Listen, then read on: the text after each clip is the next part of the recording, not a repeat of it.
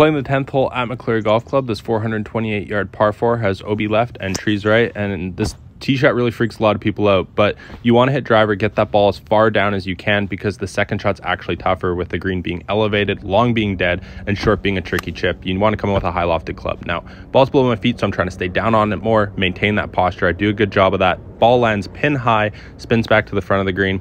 Now, this putt was all mental.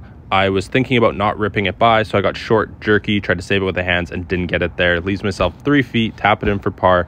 Make sure you like and follow for more.